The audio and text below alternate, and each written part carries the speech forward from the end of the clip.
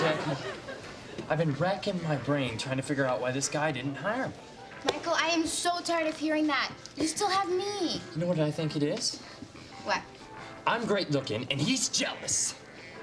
I'm telling you, Jackie, this body is a curse.